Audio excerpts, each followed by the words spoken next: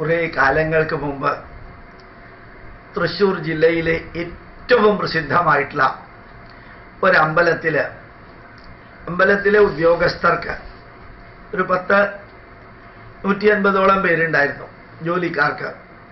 ഏറ്റവും ചുവടറ്റം മുതൽക്ക് മുകളറ്റം വരെയുള്ള ജോലിക്കാർക്ക് ഒരു ക്ലാസ് ഉണ്ടായിരുന്നു ക്ലോസ്ഡ് ഡോർ പുറത്തുനിന്നുള്ള ആരെയും അനുവദിച്ചിരുന്നില്ല. ഞാൻ അവരുടെ അടുത്ത് ക്ഷേത്ര ആചാരങ്ങൾ എന്താണ് അനുഷ്ഠാനങ്ങൾ എന്താണ് അത് രണ്ടും പറഞ്ഞു കൊടുക്കുന്നതിന് മുമ്പ് ആ പ്രസിദ്ധമായ ക്ഷേത്രത്തിലെ പരമ്പരാഗതമായിട്ടുള്ളത് എന്താണ് അതിന്റെ മുകളിലുള്ള കീഴ്വഴക്കങ്ങൾ എന്താണ് പരമ്പരാഗതമായിട്ടുള്ളത്. കീഴ്വഴക്കമായിട്ടുള്ളത് ആചാരമായിട്ടുള്ളത് അനുഷ്ഠാനമായിട്ടുള്ളത് എന്താണ് അതിങ്ങനെ point by point by point ആയിട്ട് വിരിച്ചു കൊടുത്തു. നമ്മുടെ മനുഷ്യ ശരീരം പോലെയാണ് ഒരു വിഗ്രഹം. ശരിക്കും ഒരു ക്ഷേത്രം എന്ന് പറയുന്നത് യാഗശാല പോലെയാണ്. അതിൽ ഉത്തരവേദി എന്ന് പറയുന്ന സ്ഥലത്താണ് ഈ യാഗശാലയിൽ ഇരുപത്തിനാല് മണിക്കൂറും അഗ്നി കത്തിക്കൊണ്ടിരിക്കുന്നത്.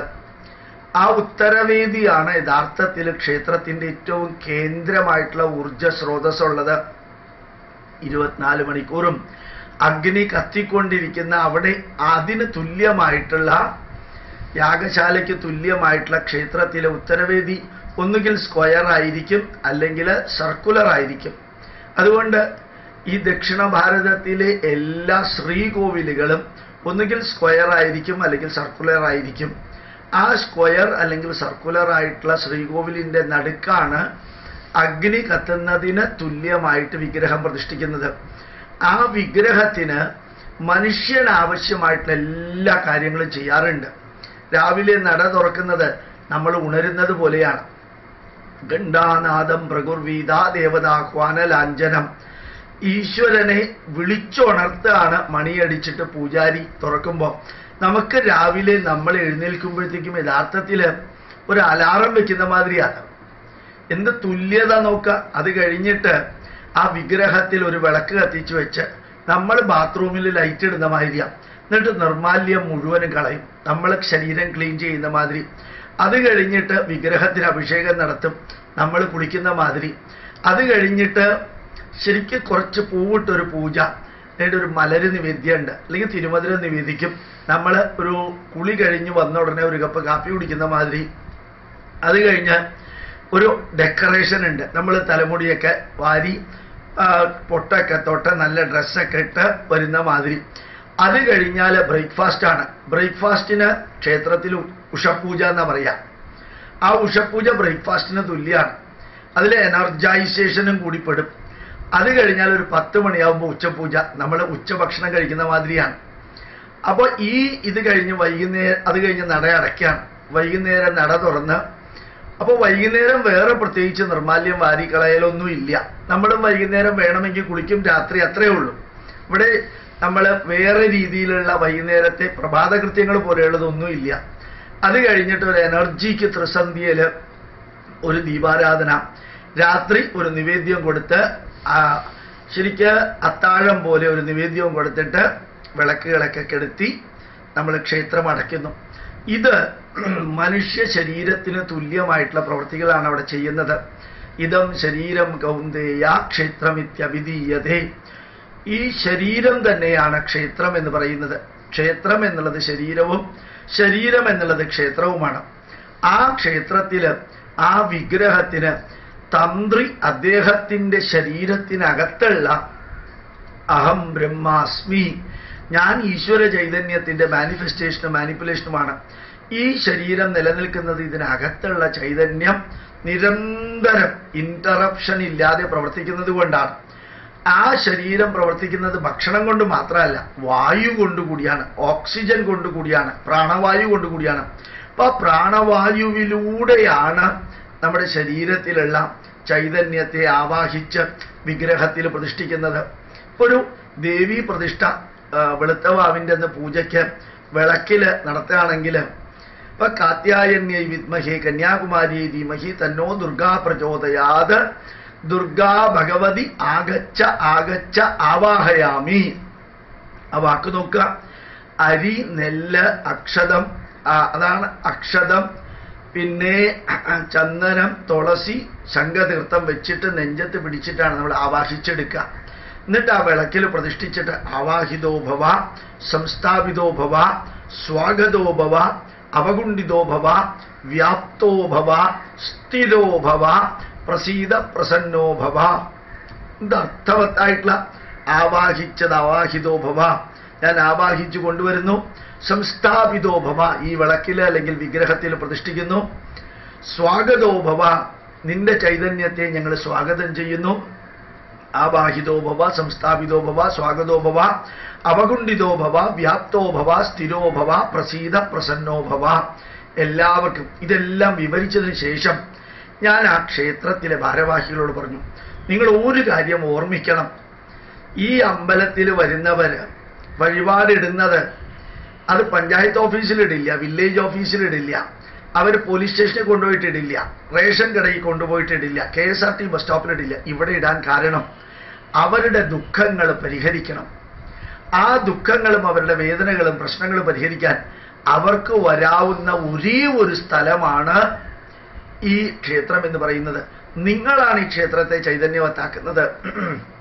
ഒരു കുഷ്ഠരോഗി അല്ലെങ്കിൽ ഒരു ചിക്കൻ ബോക്സ് വന്ന ആൾ അതല്ലെങ്കിൽ ന്യൂമോണിയ വന്ന ആൾ അല്ലെങ്കിൽ എയ്ഡ്സ് രോഗം വന്ന ആൾ ഇയാൾ ഈ അമ്പലത്തിൽ വന്ന തലയ്ക്ക് ഒഴിഞ്ഞ് ഒഴിഞ്ഞ് ഒഴിഞ്ഞ് ആ പൈസ ഭണ്ണാരത്തിലിട്ട് തൊഴുത് എന്റെ രോഗം മാറണേന്നാ പറയാ. ശരിക്ക് ആ അമ്പലം നിലനിർത്താൻ വേണ്ടിയിട്ട് ഉപയോഗിക്കുന്ന പൈസ ഇയാളിട്ട പൈസയാണ്. ആ പൈസ നിങ്ങൾ കൈയിട്ട് വാരിയാൽ ആ ഭണ്ണാരം എണ്ണുമ്പോൾ കൈയിട്ട് വാരുന്നതിന് ഒരു കണക്കുമില്ല ഞാൻ ക്ലാസ് എടുത്ത അമ്പലത്തിൽ. എനിക്ക് നേരിട്ട് അറിയാവുന്നതാണ് അത്രയും ഭണ്ഡാരത്തിൽ കൈയിട്ട് വരുന്നവരാണ് എന്റെ മുമ്പിൽ ഇരിക്കുന്നതിൽ ഭൂരിഭാഗവും അല്ലെങ്കിൽ സപ്പോർട്ട് ചെയ്യുന്നവര്. ഇപ്പൊ നിങ്ങൾ ഈ രോഗികളുടെ പൈസ എടുക്കുമ്പോൾ അത് അമ്പലത്തിലേക്ക് പോകാവുന്നത് നിങ്ങൾക്കാ വരുന്നത്. നിങ്ങളുടെ കയ്യിലുള്ള പൈസ ഏതെങ്കിലും കാരണവശാൽ ചിലവാവും. പക്ഷെ അയാളുടെ പ്രാർത്ഥനയിലെ മഹാരോഗം അത് നിങ്ങളുടെ കൂടെ ഉണ്ടാവും. ഒരു ഒരു കുഷ്ഠരോഗിയാണ് അങ്ങനെ പൈസ ഇട്ടതെങ്കിൽ അയാൾക്ക് രോഗം വന്നത് ഏത് കാരണത്താലാണോ കാരണമില്ലാതെയാണോ അയാൾക്ക് ഇനിയും ജീവിക്കണം എന്നുള്ള ആഗ്രഹത്തിൽ അയാൾ രക്ഷ തേടി സംതൃപ്തി തേടി സമാധാനം തേടി അസുഖം മാറാനുള്ള ഒരു വ്യഗ്രതയോടുകൂടി കൊണ്ടുവന്നിരിക്കുന്ന പൈസ നിങ്ങൾ കൈയിട്ട് വാരിയപ്പോ ആ പൈസ നിങ്ങളുടെ കയ്യിൽ നിന്ന് ചെലവാവുകയും ചെയ്തു. അയാളുടെ അഭ്യർത്ഥനയുടെ രോഗം നിങ്ങളിലാണ് അത് ബാധിക്കുക. കാരണം അത് ക്ഷേത്രത്തിലേക്ക് പോവേണ്ട പൈസയാണ്. പോയിട്ടില്ല. അങ്ങനെ ഒരു മഹാരോഗിയായിട്ട് അവരുടെ ശാപമേറ്റ് ഈ അമ്പലത്തിൽ തിന്മ നിറഞ്ഞ പ്രവർത്തനങ്ങൾ ചെയ്ത് അമ്പലത്തിലെ പൈസ കൈയിട്ട് വാരിയിട്ട് അത് നശിപ്പിക്കുമ്പോൾ ഇന്നല്ലെങ്കിൽ നാളെ മഹാരോഗം നിങ്ങളെ പിടിപെട്ടപ്പോ പിടിപെടുമ്പോൾ ഒരു കാരണവശാലും നിങ്ങൾക്ക് അതിൽ നിന്ന് റിക്കവർ ചെയ്യാൻ സാധിക്കില്ല. For every bad action there is an equal and opposite bad reaction ആ ബാഡ് റിയാക്ഷൻ അനുഭവിക്കേണ്ടി വരുന്ന സമയത്ത് നിങ്ങൾ പ്രായശ്ചിത്ത വിധിയും കൊണ്ട് പോയാൽ പോരാ. എന്താ പ്രായശ്ചിത്തം എന്ന് പറഞ്ഞാൽ അറിയാതെ ചെയ്ത തെറ്റിന് മനസ്സ് ശരിക്ക് വേദനിച്ച് അപേക്ഷിക്കുമ്പോഴാണത് പ്രായ ചിത്തം. ചിത്തം എന്ന് വെച്ച് കഴിഞ്ഞാൽ ചിന്ത മനസ്സ്. പ്രായ എന്ന് വെച്ചാൽ പ്രായം പിന്നീട്. പിന്നീട് ഉണ്ടാകുന്ന മാനസിക വികാരത്തെയാണ് പ്രായശ്ചിത്തം എന്ന് പറയുക. അപ്പൊ പ്രായശ്ചിത്തം എന്ന് പറഞ്ഞാൽ അറിയാതെ ചെയ്യുന്ന തെറ്റ് മാത്രമേ പ്രായശ്ചിത്തത്തിന് വിധേയമാവുള്ളൂ. പക്ഷെ നിങ്ങൾ ഭണ്ണാരത്തിൽ കൈയിട്ട് വാരുമ്പോഴും ഭക്തന്മാരെ പറ്റിക്കുമ്പോഴും കൈക്കൂലി വാങ്ങിക്കുമ്പോഴും നിവേദിക്കാത്ത സാധനം ലോഡ്ജുകളിൽ ചെന്ന് നിവേദിച്ചതാണെന്ന് പറഞ്ഞ് അയാളുടെ അടുത്ത് നിന്ന് ആയിരം രൂപ വാങ്ങിച്ച് ഇവിടെ കൊണ്ടുവന്ന് നൂറ് രൂപ കൊടുക്കുമ്പോഴും ശരിക്ക് അശുദ്ധിയുടെ പരമകാഷ്ടയിൽ പൂജാരിമാർക്ക് ചേരാത്തത് ചെയ്യുമ്പോഴും ഈ ഈ തിന്മ നിങ്ങളെ ബാധിക്കുന്നത് ഭക്തന്റെ മനസ്സിലുള്ള നന്മ ഫുൾഫില്ല് ചെയ്യാത്തത് കൊണ്ടാണ് അതുകൊണ്ട് ഈ ശാപത്തിന് ഒരു പ്രായശ്ചിത്തമില്ല. പ്രായശ്ചിത്തം എന്ന് പറയുന്നത് അറിയാതെ സംഭവിക്കുന്നതാണ് അതിന് മാത്രമുള്ളതാണ് പ്രായശ്ചിത്തം. പക്ഷെ അറിഞ്ഞ് സംഭവിക്കുന്നതിന് ഒരു പ്രായശ്ചിത്തവും ഇല്ല. അറിഞ്ഞുകൊണ്ട് ചെയ്യുന്നത് അനുഭവിച്ചേ തീരൂ. അതുകൊണ്ട് ഒരു കാരണവശാലും നിങ്ങളിൽ നിന്ന് തിന്മയുണ്ടാവരുത് ഞാൻ പിന്നീട് ആ അമ്പലത്തിലെ പ്രഭാഷണമൊക്കെ കഴിഞ്ഞിറങ്ങി.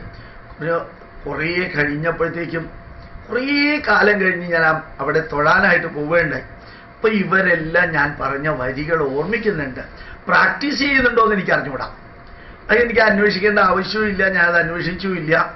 എന്നാലും ഞാൻ പറഞ്ഞ വരികൾ അവരെല്ലാം ഓർമ്മിക്കുന്നുണ്ട് എന്ന് തൃശ്ശൂർ ജില്ലയിലെ ഏറ്റവും പ്രസിദ്ധമായിട്ടുള്ള സാമൂതിരിയുടെ കീഴിലുള്ള ആ ക്ഷേത്രത്തിൽ പോയപ്പോൾ അനുഭവം തോന്നി. ഞാൻ നിങ്ങളോട് എല്ലാവരോടും പറയുന്നു നമുക്ക് ഈ ഭൗതികമായിട്ടുള്ള വിഷയത്തിലൂടെ മാത്രം കാര്യങ്ങൾ വിവരിക്കാൻ സാധിക്കില്ല.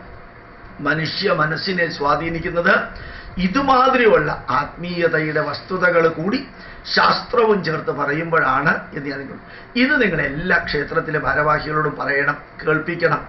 അവരനുസരിക്കട്ടെ അനുസരിക്കാതിരിക്കട്ടെ. ഒരു കാര്യം ഉറപ്പാ ഇവരൊക്കെ ക്ഷേത്രത്തിലെ പൈസ എടുത്ത് ആഡംബര കാറ് വാങ്ങിച്ച് ഫൈവ് സ്റ്റാർ ഹോട്ടലിൽ താമസിച്ച് ചിക്കൻ ബിരിയാണി അടിച്ച് ക്ഷേത്രത്തിന്റെ ഉത്തരവാദിത്വം ഉള്ളവരാണെന്ന് പറഞ്ഞ് ഈ രാഷ്ട്രീയക്കാരാണ് എന്നെ വളർത്തിയത്. അതുകൊണ്ട് ആ രാഷ്ട്രീയക്കാരോട് എനിക്ക് കടപ്പാടുണ്ടെന്നൊക്കെ പറഞ്ഞ് പ്രവർത്തിക്കുന്ന ഏത് ക്ഷേത്ര ഭാരവാഹിയും മിക്കവാറും പുഴുത്തേ മരിക്കുള്ളൂ. കാരണം ആ ഭക്തരുടെ ശാപത്തിന്റെ പൈസയാണ് അവർ സ്വീകരിക്കുന്നത്. അത് ആരായാലും ശരി. ശബരിമലയിലായാലും ശരി ഗുരുവായൂരിലായാലും ശരി ചോറ്റാനിക്കരയിലായാലും ശരി തിരുനക്കരയിലായാലും ശരി എന്നുള്ളത് കൂടി ഓർമ്മിക്കാൻ അവിടുത്തെ ഭാരവാഹികൾക്ക് സാധിക്കട്ടെ. അവർക്ക് വിശ്വാസം ഉണ്ടാവട്ടെ വിശ്വാസം ഇല്ലാതിരിക്കട്ടെ. പക്ഷെ ഫാക്ട് ഫാക്റ്റാണ് ഫോർ എവറി ആക്ഷൻ എന്നാണ് പറഞ്ഞിരിക്കുന്നത്. ഡിവൈൻ ആക്ഷൻ എന്നല്ല പറഞ്ഞിരിക്കുന്നത്. For every action there is an equal and opposite reaction എന്നുള്ള വരി മറക്കാതിരിക്കട്ടെ എന്നവരെ ഓർമ്മിപ്പിക്കുക. നിങ്ങളും ഓർമ്മ